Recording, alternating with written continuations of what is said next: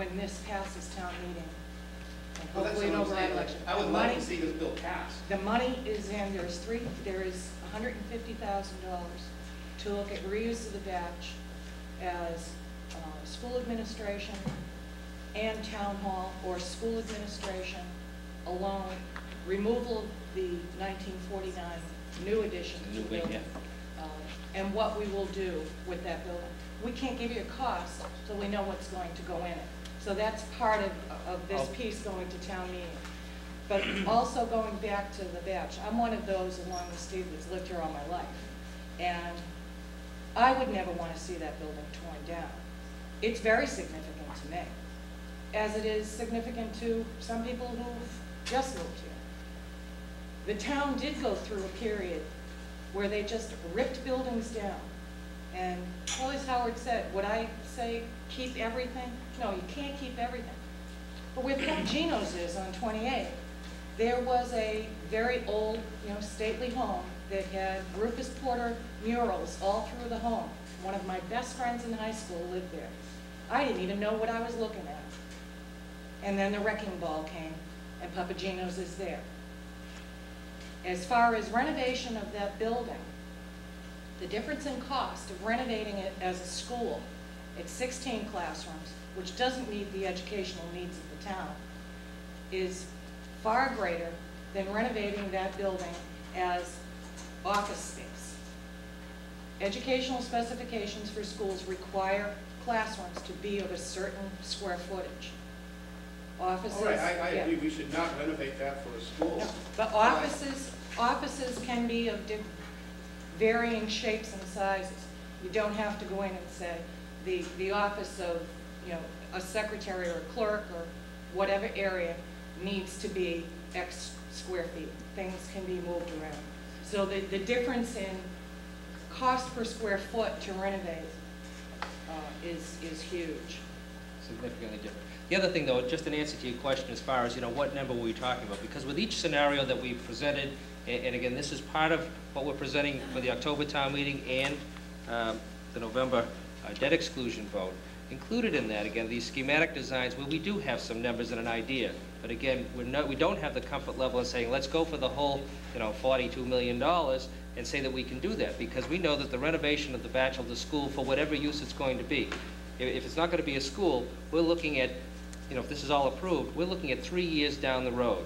And the costs that we have today could be, and probably will be significantly different than what they're going to be three years from now. And we want to make sure that as we move towards that date, we have uh, the most current numbers. What we're looking at, and for the, for the most expensive proposition, which would be school administration and town hall use, is approximately $4.4 million at today's dollars. $4.4 million To renovate the batch? for usage as school administration and town hall. What would a brand new building cost? Now, the other thing is, is if we don't move town hall, and we remove the annex, you can, you know, cut that down by forty percent probably, uh, and then still retain that portion of, of the Batchelder school for school administration and additional meeting space. Uh, those numbers we have from the architects, we have studies dating back almost ten years on the reuse of the Batchelder school and the renovation of those numbers. Uh, We have been studying the use and reuse of our facilities for years. I mean, uh, I was moderator in 1973 to 1984, and we were talking about some of this stuff. You know, I was on the board back in 1988, and we still have it. And what's the date on that particular? This one's one? only, this one's only two years old. Right. And that's, and then we have an updated one, which is again from a 1991 and 92 study, uh, looking at the same scenario, same thing. So the numbers that we have and, and what we're looking to do with these particular facilities, uh, we have an idea. And giving them back to the architect, say, you know, put it into today's dollars, what it's going to look at. That's why we had the 4.4 million dollars, the numbers that Mr. Jones presented to you as far as the impact of, of uh, moving forward with this whole package, that's included in there. Um, So again, we're not looking to you know, uh, misrepresent anything as far as the numbers and what the impact is going to be. And again, those are the worst-case scenarios based on today's dollars if we move forward with that entire plan. Again, in this particular facility, the reuse of the Batchelder school was, uh, it's got two options associated with it. But I, I can understand and- and we're sympathetic to it, you know, why don't we just bulldoze, it'd be easier, be cheaper, and start with a new building, might be cheaper to to construct something new.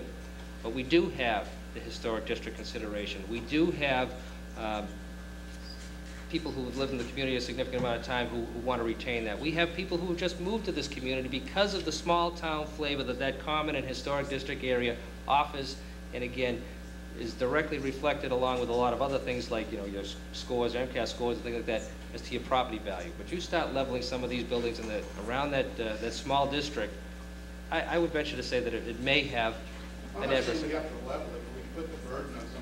Right, and again, we looked at that too as far as putting the burden on someone else and selling it to them. We talked about assisted living, which would be a good use for the property. We talked about it for commercial use, and we said, you know, what is the cost of doing this and associated with it, and what is the effect on the neighborhood and on the, the center of town? Commercial industrial stuff, people went, we don't think so. Uh, Assisted living, we said, yes, that's not, not a bad idea.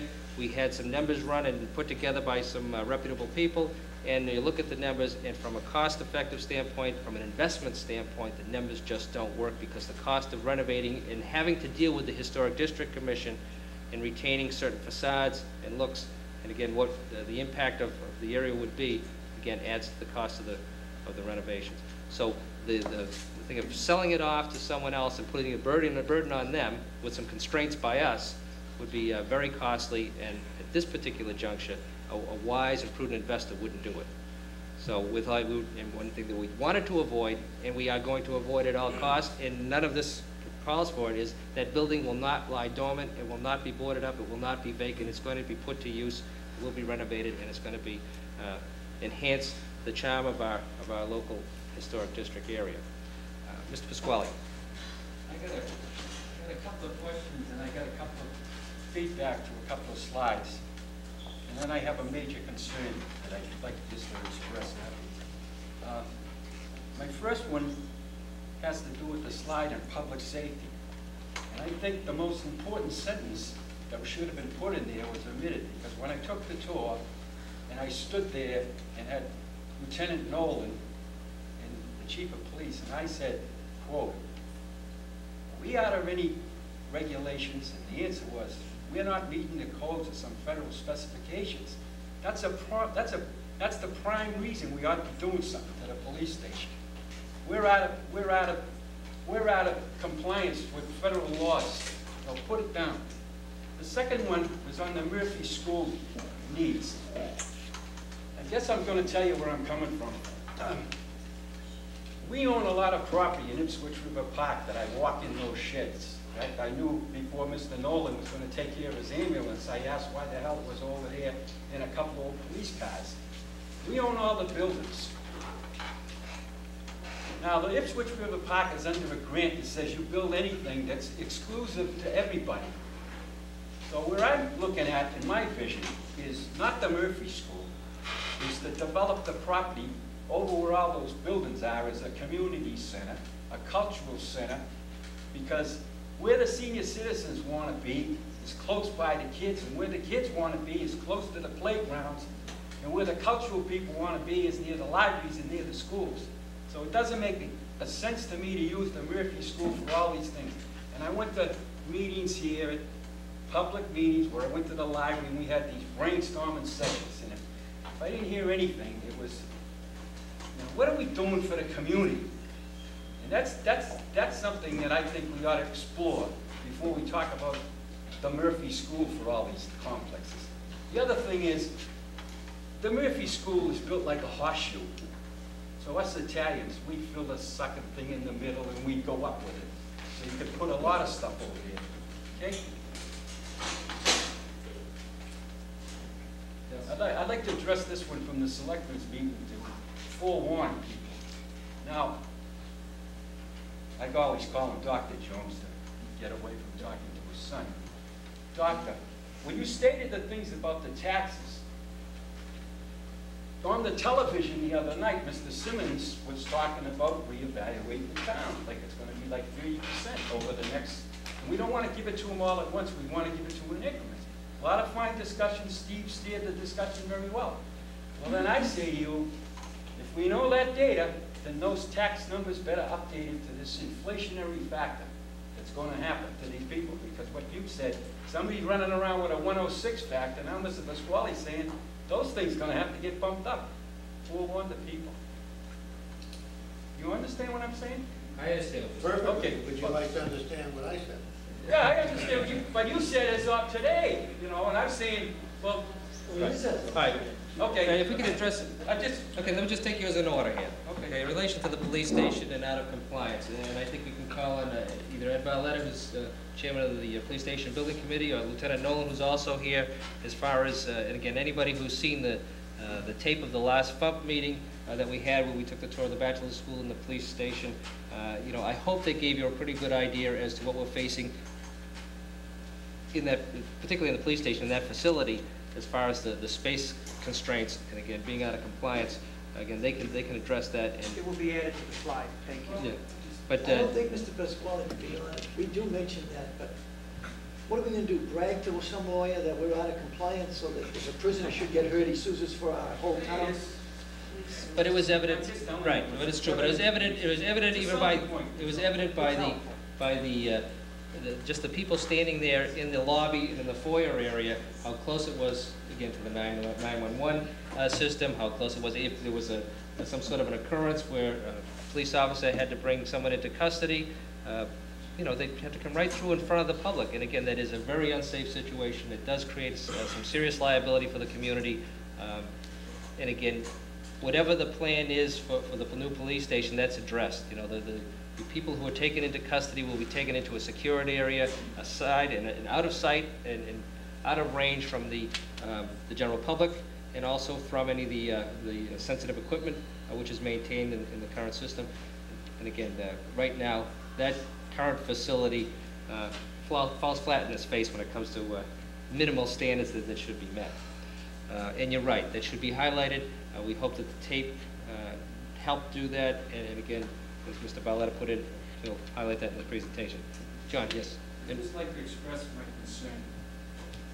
It's twofold. It's the warrant. The warrant relative to this gigantic need. So here's what Christopher Pasquale says. You can read like I read. There's 33 articles. One article alone's taken up 17 pages. Could we just focus on, on? I want to tell you, the most proposal? important article, the most important article is why ninety percent of the town is gonna be there, is article on this. Seventeen. Say it out loud, seventeen. Article seventeen. So 17 is gonna have a hell of a lot of discussion. And There's a few other articles in there that has to do with money that I always interested in. But nobody cares about changing the bylaw and this and that, da, da, da, da. Wait, excuse me. I'm, I'm directing this now to Mr. Solomon. Please. I've gone to a lot of town meetings, and I'll be the first one to stand up that I get phone calls afterwards saying, why the hell would you sit down and shut your mouth? Why do you use charged words in public? Why do you do this? Why do you do that? I don't know who this other group is. I'm telling you, I don't know who they are. But I'm intelligent enough to know, having gone to several of the pump and I admire all of you for all the time you put in an aggravation, but you're not inclusive, one key element of this town. It's independent persons called the taxpayers. They're the ones, so they're not on there. So you got this body, hold on, wait a minute. But you remember, you got a label on your head, you remember the funk right now, okay? I'm still just- write the check. Okay, all right. I still have to write the check. Sure, you, you got it right, I understand that.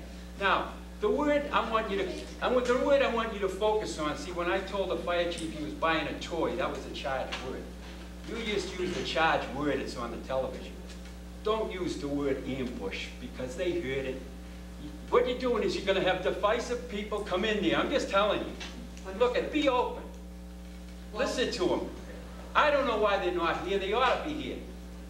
Because But this is gonna be, a- it's gonna be a long, drawn-out affair, that's what my I, I- I think, actually, I don't know that this, the discussion at town meeting's gonna take that long, because I think people who are going there will have their minds made up, and I don't think anybody's gonna say, hey, you make a presentation to me, let me know what we're gonna do. My- I'll make up my- my mind that night. My, my last question happens to be, repeat that school number again, you said eleven? Eleven million nine seventy-three, I Okay, now, I keep hearing this eighty thousand dollars. Now it's. Is it in there? It's hundred and five thousand dollars, it's included in that, but it's not No, subject to reimbursement. Oh, Excuse me. Excuse me, wait a minute. Let's get, seriously, I don't wanna hear this funny stuff at town meeting. What? But don't embarrass Steve. I just asked him a number. I wanna know